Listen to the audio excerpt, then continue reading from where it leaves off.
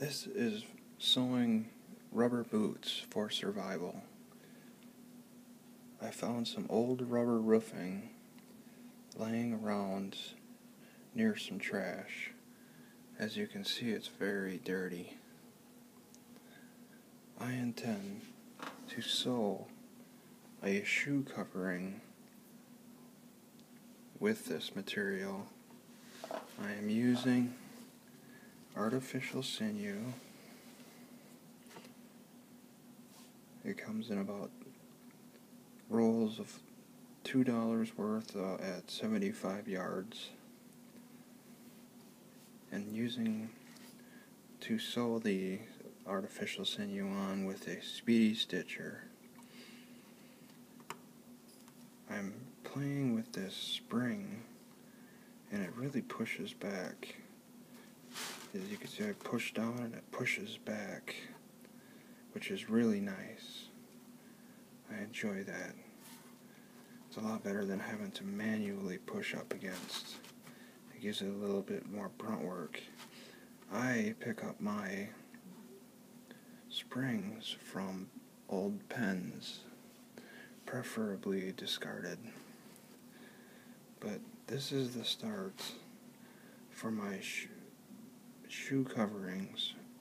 This is going to be the heel. Then I'm going to continue on all the way up. My shoes are about this size and they're falling apart. This is survival sewing. The rains have been pretty bad in Wisconsin but that'll butt up against, I'll have it go up to the calf, and then I'll continue to follow the pattern and just make a boot outline. Then, once this is sewn, what I'll do is, just a second.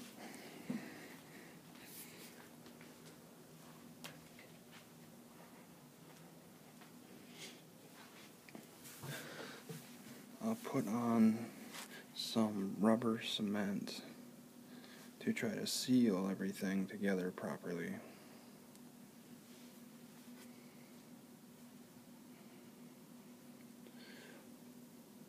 But that's an overall.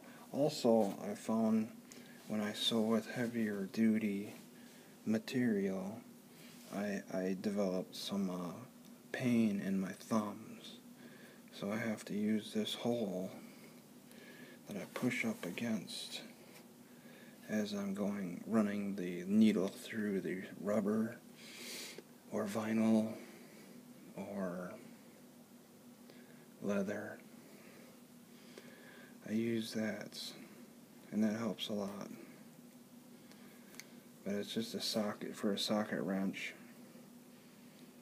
Um, there might be other better things ideally I would love to have this crochet hook which I use to fish the uh, stuff through the hole. Ideally I'd like to have this other end be a hole that I could just kind of punch. I don't know how I could do that right now. I need to talk to a manufacturer of some kind but this is the start. I may try to post pictures of the finished product, and it all has to be cleaned off. I'm just starting on the sewing of a rubber boot covering. It's not going to be pretty. It's a focus of functionality. And uh, we'll see how it turns out.